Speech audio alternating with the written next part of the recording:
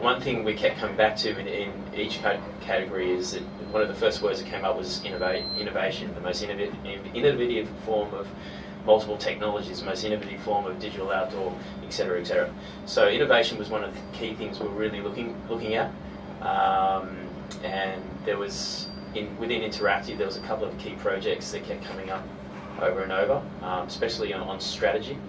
Um, and with the technology they use to achieve that. Mm, small pieces uh, like business cards and conceptual things like a logo and big projects uh, that challenge uh, social issues uh, all on the same table. Very difficult. So, but what we looked for was how well and how beautifully design helped embody the brand philosophy and the truly to reach, it, reach out to people.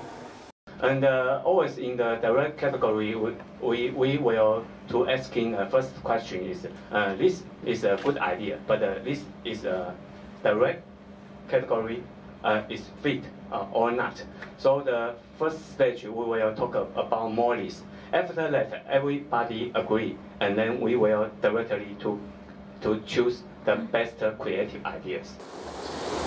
They are the, the thinking. The creative thinking is way beyond the, the norm. Right? It can be like, if, if I get the brief, the easiest creative solution will be a poster, or be a light box. But the creative team or the agency, they, they look beyond what else can we do it. So when we look at the, all the entry for the, uh, the press, it's, it's a lot of amazing stuff. But you don't have a piece, we feel like I'm jealous. So that's why we, we only give it a silver, but I'm sure next year you can try harder. Our watch show is going to be here. We're going to be there every year, so try to make us make the next year jury jealous. The privilege to get to judge all this great work, and um, it left me humble and inspirational. Um, these are some of the best work from the region, and um, you know, when, when you judge and, and criticize it, it just feel feel very humble and inspirational.